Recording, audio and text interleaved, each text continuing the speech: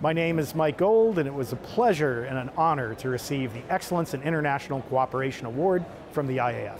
In terms of myself being honored, it makes me feel modest because this was a team effort. So many people across the entire globe had to come together to make the Artemis Accords real. Artemis is now the broadest, most diverse global human spaceflight program in history. And it makes me feel so good at a time where there's so much conflict and disaster, bad things in the news and in the world. The Artemis Accord shows that we can come together as humanity to work together to pursue our dreams and to make the future a better place. You know, space isn't just about building better technology, it's about building a better future. And that's what the Artemis Accords are all about.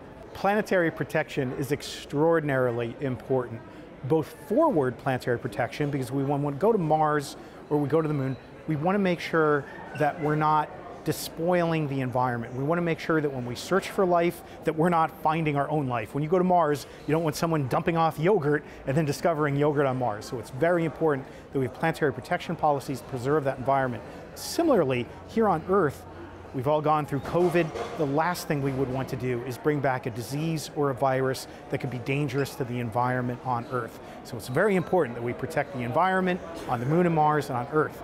At the same time, we need to make sure that those policies make sense for government, make sense for the private sector, and enable this incredible new golden age of exploration of commercial space that the world is enjoying. My name is uh, Gabriella Arrigo. I received today the IAF Excellence in, in International Cooperation Award. Indeed, I'm very honored uh, because to be uh, recognized uh, excellent in your work by colleagues um, is being uh, appreciated.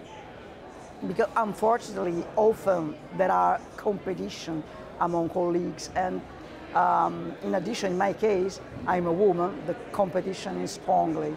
So therefore, I'm very happy um, and honored having received this award in this special event in Milan. Global space collaboration is very important uh, because space uh, is an international sector for definition. Outer space is without limits. Space missions are very expensive and the goals to be achieved are very ambitious.